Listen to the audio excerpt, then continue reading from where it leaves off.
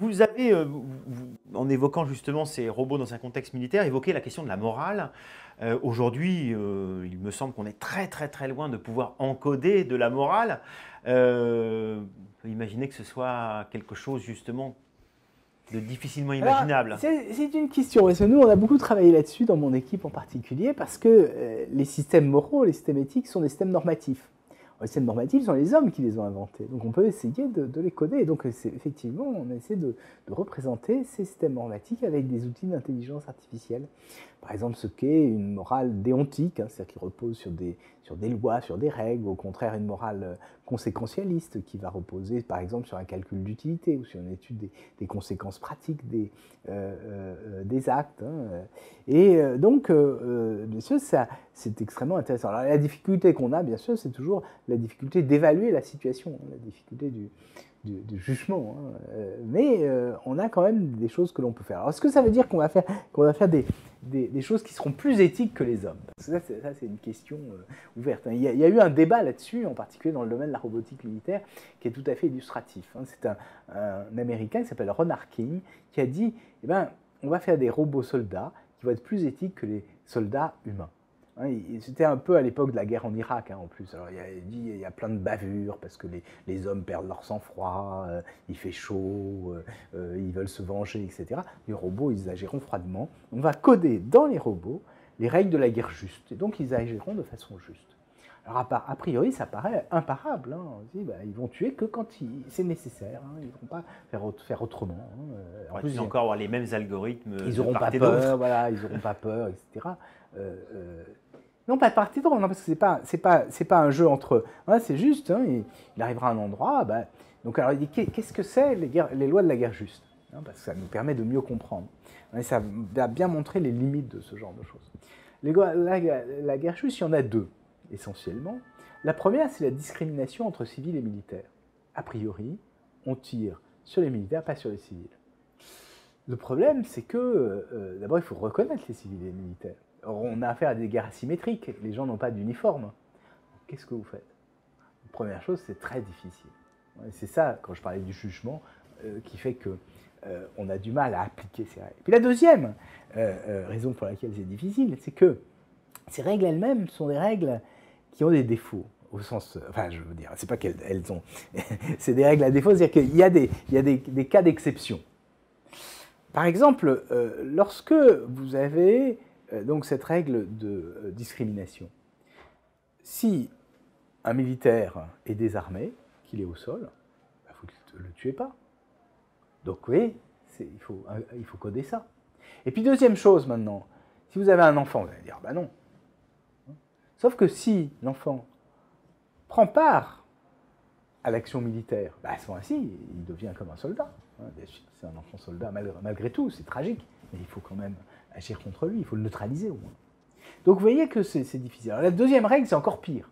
La deuxième règle de la guerre juste, c'est la proportionnalité. Le principe de la réponse doit être proportionnelle à l'attaque. Comment vous faites pour calculer ça? Vous voyez que là, c'est vraiment une question de jugement. D'ailleurs, on le voit bien hein, dans les avis internationaux. Hein, vous avez euh, hein, réplique d'Israël, une attaque. On vous dit ah ben c'est pas bien parce que c'est pas proportionnel. Qu'est-ce que ça veut dire proportionnel? On ne sait pas. on a mis des roquettes. Oui, mais c'est des petites bombinettes, tandis qu'ils arrivent avec des grosses bombes. Voilà. Donc c'est juste pour que vous compreniez que justement les questions d'éthique, on peut essayer de les modéliser, mais qu'en même temps, on a euh, on se, confronte avec des, euh, difficultés, des obstacles très grands. Alors, est-ce qu'on est totalement démuni Non, parce que on peut penser que dans des décisions complexes, des décisions collectives, on peut utiliser des, agents intelligents, des outils d'intelligence artificielle qui disposent de certaines informations et qui nous aident à mûrir notre décision en prenant en compte différentes règles éthiques. Et c'est un peu ce qu'on fait hein, ici, hein, dans, ce, dans, laboratoire, on a un projet sur ce genre de choses hein, qui, à mon sens, peuvent être extrêmement intéressantes. Mais vous voyez que ce n'est pas la machine qui va décider toute seule, c'est la machine qui éventuellement va nous donner certains arguments et puis on pourra discuter. Euh, et elle peut dire, bah, telle décision, est-ce que vous avez bien pris en compte telle et telle dimension du problème? Alors vous parlez d'éthique, je propose qu'on évoque ce qui, je pense, vous intéresse beaucoup aujourd'hui, c'est cette singularité, et qu'on commence peut-être, parce que beaucoup de gens utilisent le mot sans bien savoir d'où il provient, que vous me disiez assez rapidement, qu'est-ce que c'est qu'une singularité, concept mathématique, physique, point critique? Alors voilà, au, départ, hein, le, concept de singularité est mathématique. Euh, ça désigne effectivement un point critique dans une fonction. Par exemple, vous avez la fonction qui a x associée à 1 sur x, au voisinage de 0, juste avant c'est moins l'infini, juste après c'est plus l'infini. Là, il y a un point étrange. vous avez des singularités moins dramatiques que celle-là. Par exemple, un point de rebroussement, c'est-à-dire vous baladez sur une lame de rasoir, vous êtes un, microbe, hein, vous arrivez, vous montez, vous montez, et puis paf, ça tombe de l'autre côté. Ben, il y a un point critique à un moment donné hein, de, basculement. Hein.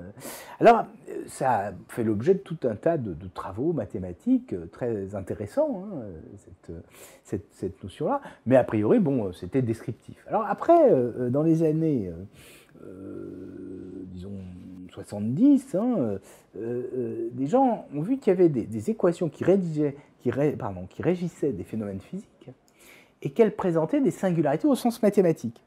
Et là, on avait des singularités physiques, avec des points qui étaient intéressants du point de vue de la physique. Par exemple, le centre des trous noirs, ce sont des singularités. Là encore, hein, euh, ce sont des, questions d'observation. Hein. Mais euh, il y a des euh, mathématiciens d'abord, ensuite des auteurs de science-fiction, qui souvent avaient une formation mathématique, qui se sont dit, avec la technologie, on a un développement très rapide des puissances de calcul. Et donc dès les années 50, les gens se sont dit, mais qu'est-ce qui se passe si elles calculent tellement vite qu'elles sont hyper rapides et qu'elles sont plus rapides que nous? Et ils allaient un peu plus loin, ils disaient si elles sont plus rapides que nous, elles seront plus intelligentes que nous.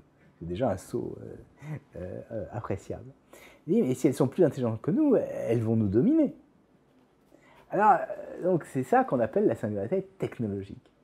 Et un certain nombre d'ingénieurs, hein, en particulier quelqu'un qui s'appelle Rick Kurzweil, hein, qui est aujourd'hui employés par la société Google, hein, donc ce sont des, idées qui, dans les grandes entreprises de l'Internet, ont largement cours, nous disent attention, hein, on va avoir d'ici euh, à peu près. Euh, alors, ils calculent ça hein, en très utilisant. Précis. Voilà, très précis, en utilisant ce qu'on appelle la loi de Moore. C'est la loi de croissance des microprocesseurs qui dit que la puissance double à peu près tous les, tous les deux ans. Et ils disent bah, à tel moment, ce sera supérieur, la fréquence sera supérieure à celle de notre cerveau. Donc, ce sera plus intelligent. Donc, les machines vont soit prendre le pouvoir, soit. Alors, il y a différents scénarios. Hein. donc, il y a, il y a le, le, scénario où on disparaît complètement.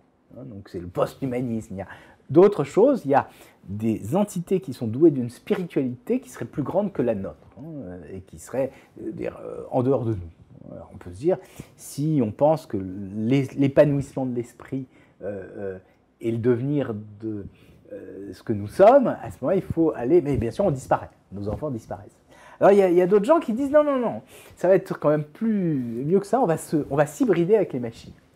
Et là, ils se disent, bah, nous, on est, on est un esprit et, un corps. Bah, notre esprit va aller sur les machines, on va télécharger, donc c'est un peu une métaphore informatique. Notre esprit est à notre corps, parce que le logiciel est euh, au matériel dans un ordinateur, et donc on va télécharger notre esprit sur les ordinateurs, et on va devenir immortel, des, âmes errantes sur les robots.